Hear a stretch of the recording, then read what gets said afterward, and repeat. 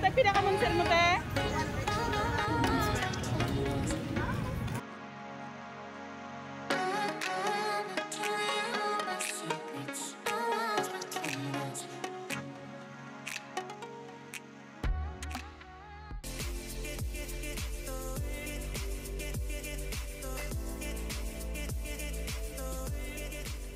Maayong aga, Iloilo City!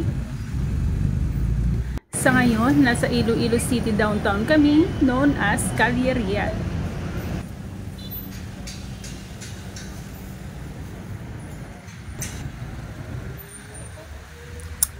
Medyo matagal-tagal na panahon na hindi kami nakakain ng kamonsil or kamachli in Tagalog. Kaya bibili tayo and of course, yung homemade na donut. Tigsan po. Ulo, ma'am. Namet? Ang Calle ay kilala ito bilang sentro ng business sa distrito ng Iloilo. Ang Calle ay kilala din bilang National Heritage Zone at National Historical Landmark noong August 8, 2015. Now approaching Eusebio Villanueva Building.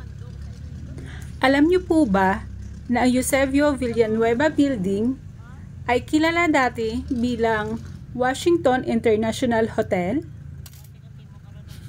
Noong 1927, ang Eusebio Villanueva Building ay kilala bilang International Hotel. Noong 2012, ang building ay naibalik sa dati. Noon, ang hotel ay popular sa mga foreign investor noong 1920s. Ngayon, ang building ay nagsisilbi bilang retail space.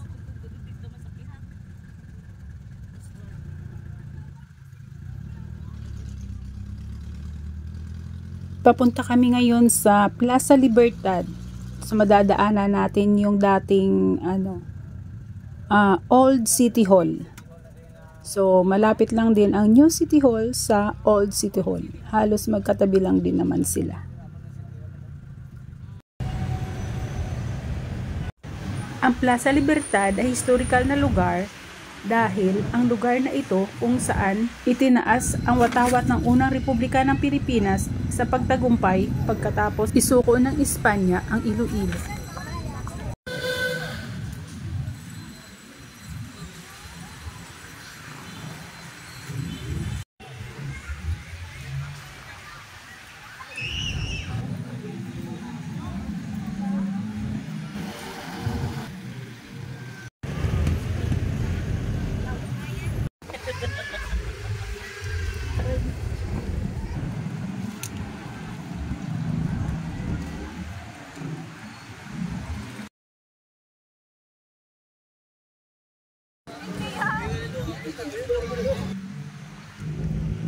After ng pasyal namin dito sa may Haro Plaza, so diretso na kami ng Costa Estrella Food Park sa Bituon, Haro.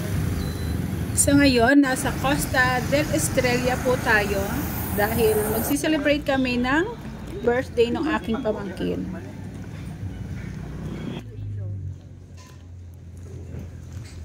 Ang kagandahan dito sa Costa del Estrella So, while waiting doon sa in-order mong pagkain, pwede kang mag-ikot muna dito sa likod, facing sa dagat. So, pwede ka muna mag-money-money dyan. So, hindi ka mabuboard sa pag-antay mo ng iyong in-ordered na pagkain.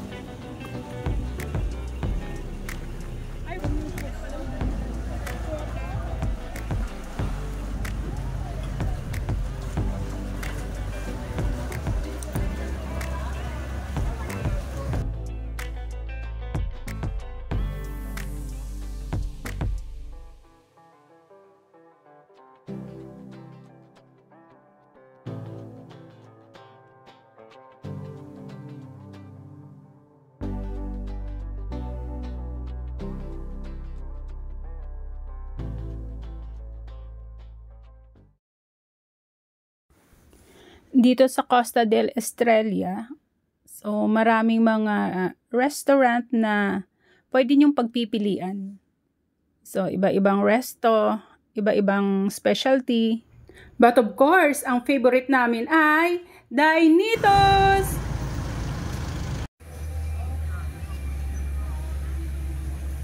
Sa Dainitos, very spacious ang lugar nila.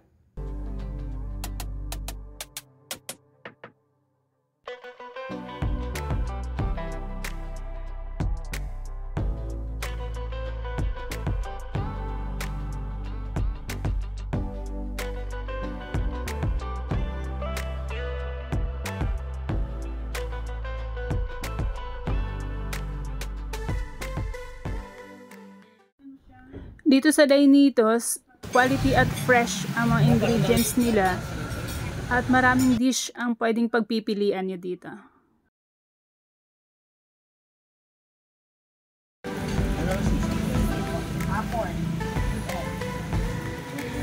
Pork sisig. Thank you.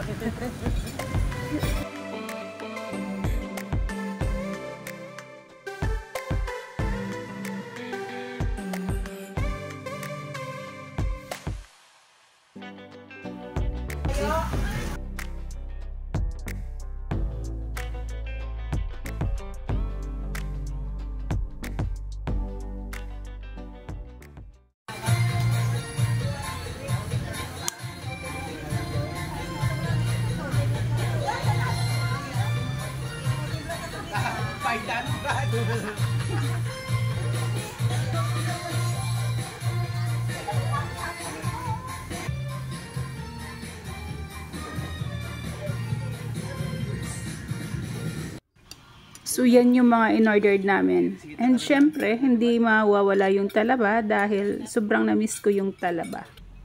Ang kagandahan dito sa talaba nila is, ano, malalaki. Dahil galing pa siya ng aklan.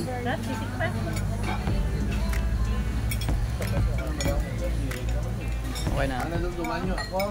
Gina bala kag ikaw gina nag-order. Gano ubuson mo gidna?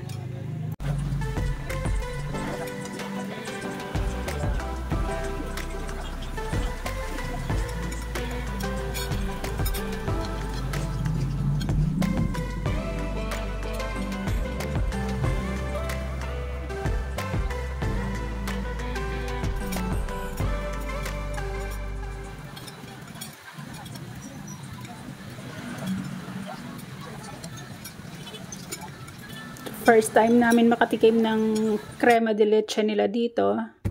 But I'm sure, magiging favorite namin siya.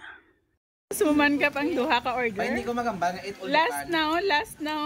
Kay, eh, kung eat all you can, pati dyan usapo din ko. Sabay, dan pa ko ni takon.